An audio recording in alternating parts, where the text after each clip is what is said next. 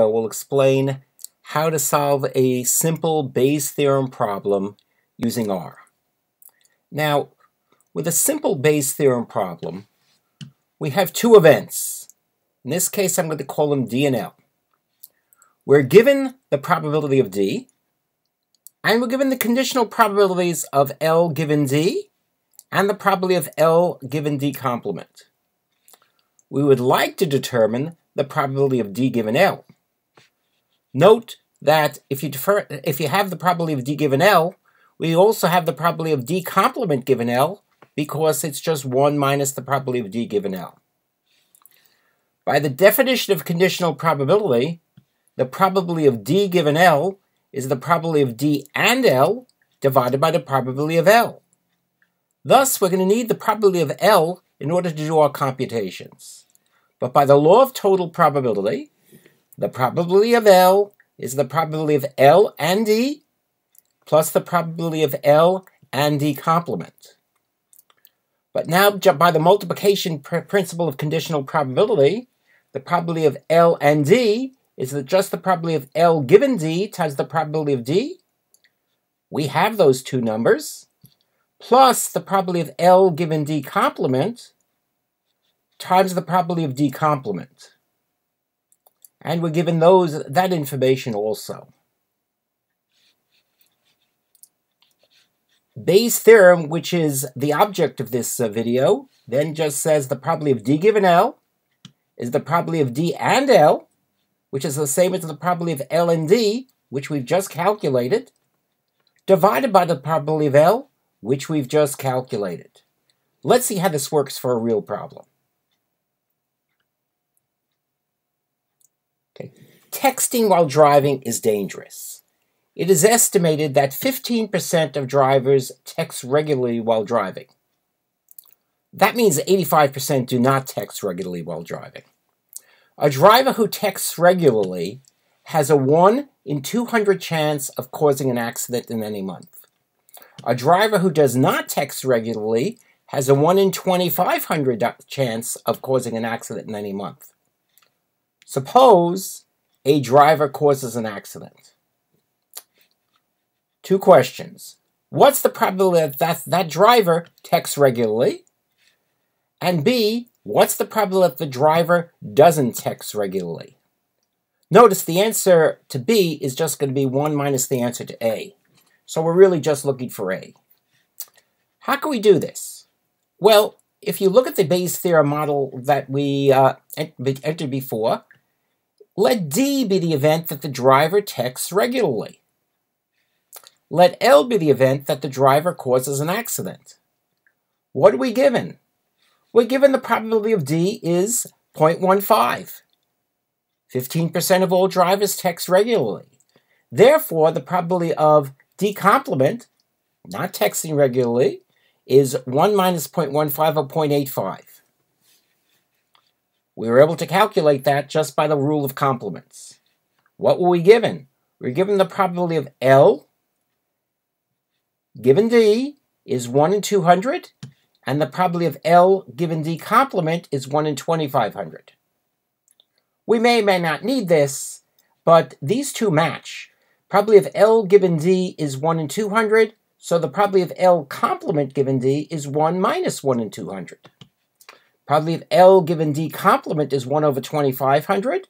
So the probability of L complement given D complement is 1 minus 1 over 2500. We want the probability of D given L. This is just the probability of D and L divided by the probability of L. Let's see how to do this. Well, in order to actually do this, I'm going to have to give some numbers, uh, some variable names to our numbers. Now, because of the nature of R's interface, I can't use special characters or special symbols as part of variable names. So here's what I've done.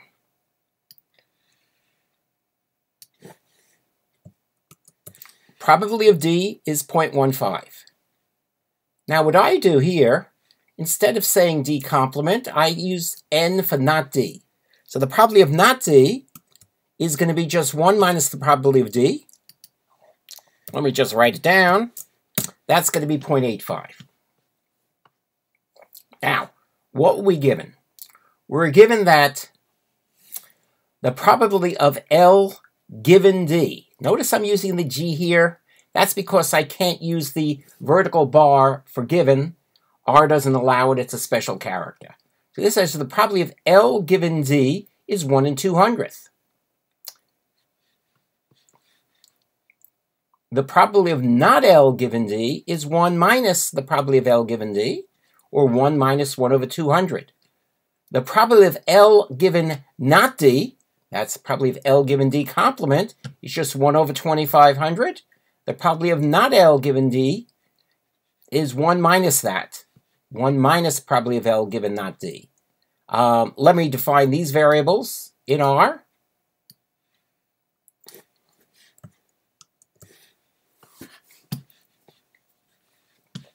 Okay, now, what do we have? if you'll remember the Bayes theorem formula from before, the probability of L is just the probability of L given D times the probability of D plus the probability of L given D complement times the probability of D complement. Notice what I've done here. The probability of L is the probability of L given D times the probability of D plus the probability of L given not D times the probability of not D. And let me just display it. I get 0.00109. Now, here's our Bayes theorem part. The probability of D given L is the probability of L and D divided by the probability of L. We've just calculated the probability of L up here, 0.00109. But the probability of d of L and D, we've actually calculated it right up here. So we're going to put that in as part of the formula. And there is our conditional probability. Basically, what this is saying is that given that there was an accident, given that um, we've caused an accident, um, 68% of those accidents are going to be caused by people who texts regularly. That's the probability of D, texting regularly, given that you caused an accident. Um, for the second piece, probability of not D given L is just the complement of this.